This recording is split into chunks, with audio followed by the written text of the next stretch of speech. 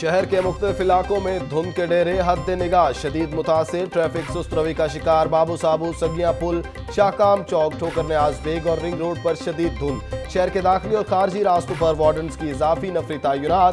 شہری گاڑی کی رفتار کم۔ فوگ لائٹوں کا استعمال کریں۔ سی ٹی او کی شہریوں کو غیر ضروری سفر سے گریز کی ہدایت۔ محکمہ موسمیات نے سول ایوییشن کو دھند کی وارننگ جاری کر دی۔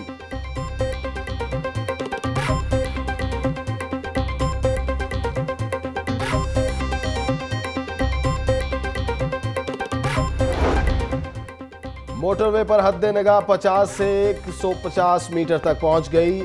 ایم ٹو لاہور سے کوٹ مومن، فیصل آباد اور گوجرا تک شدید دھند کی وجہ سے بند۔ قومی شاہراہ پر ٹھوکر، مانگا منڈی پول نگر، جمبر اور پتوکی کے علاقوں میں دھند چھا گئی۔ موٹر وے پولیس کی گاڑیوں پر فوگ، لائٹیں استعمال کرنے کی ہدایت۔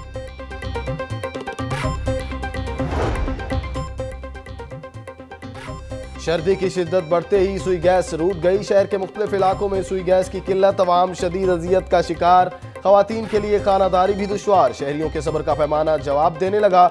سڑکوں پر نکل آئے کلفٹن کالونی کے مکینوں کا احتجاج۔ حکومت کے خلاف نعرے بازی۔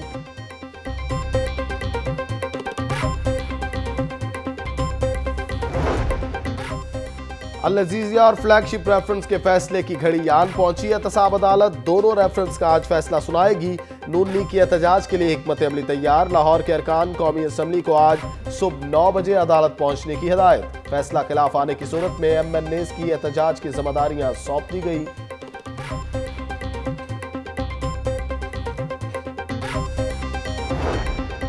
ایک لینڈ مارک کیس کا فیصلہ ہے، سب کی نظریں احتساب عدالت پر ہیں۔ شریف برادران، زرداری اور سعد رفیق سب معصوم ہیں تو پندرہ سال پاکستان کو لوٹا کس نے؟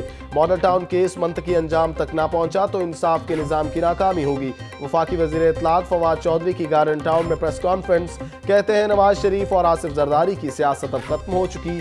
بے حیائی سے کہتے ہیں دونوں مل کر تحریک چلائیں گے۔ ان کی تحریک کا نام ٹھگز آف پاکستان ہے۔ یہ اپوزیشن نہیں، گروپ آف بلیک میلرز ہے۔ عجب نظام ہے، بھائی کے اکاؤنٹس چھوٹا بھائی، باپ کے اکاؤنٹس بیٹا چیک کرے گا۔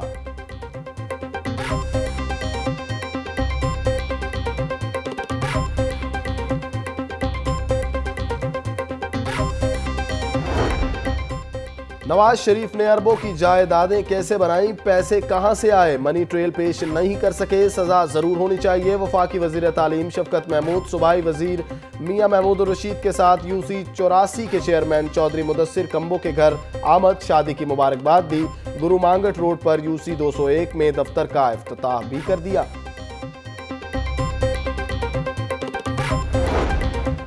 مڈ ٹرم الیکشن کا امکان مسترد، نعیم الحق کا کہنا ہے کہ زرداری اور نواز شریف کے مقدمات پر اہم فیصلے آنے والے ہیں۔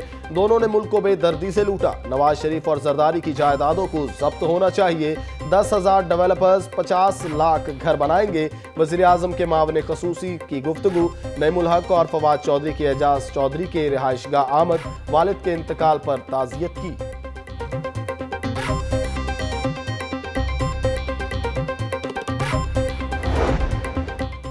اہم حکومتی اور سیاسی شخصیات کی اعجاز چودھری کے گھر آمد کا سلسلہ جاری۔ وزیر مملکت برائے داخلہ شہریار آفریدی نے اعجاز چودھری کی رہائش گاہ پر جا کر والد کے انتقال پر اظہار تعزیت کیا۔ صوبائی وزیر رائے تیمور بھٹی نے بھی اعجاز چودھری کے ساتھ فاتح پڑھی۔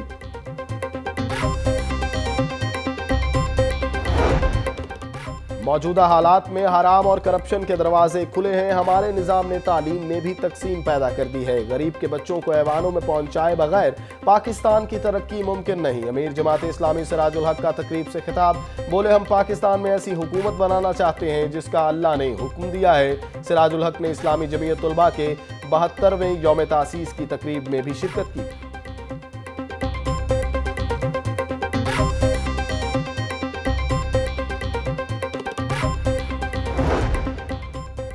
میاں جاوید کی جیل میں ہلاکت کا معاملہ، محکمہ داخلہ کی انکوائری رپورٹ، وزیر اعلیٰ کو موصول، جیل کے ڈاکٹر کی غفلت کے باعث میاں جاوید کی موت ہوئی۔ پروفیسر میاں جاوید کو جیل میں بر وقت طبی سہولیات فراہم نہیں کی گئیں۔ رپورٹ میں انکشاف۔ مل بیٹھنے کا کوئی نہ کوئی بہانہ چاہیے۔ چھٹی کے روز کو پرلطف بنانے کے لیے الجلیل گارڈن کی عمدہ کاوش، سوسائٹی ممبران کے لیے فیملی فیسٹیول کا انعقاد کیا۔ مزے مزے کے پکوان، بچے بڑے، سبھی نے خوب لطف اٹھایا۔ اور پلاک میں دو روزہ بابا بلے شاہ فیسٹیول اختتام پذیر۔ بابا بلے شاہ کے کلام پر مختلف سیشنز کا انعقاد۔ سٹالز بھی سجائے گئے۔ آخری روز لوگوں کی بڑی تعداد نے شرکت کی۔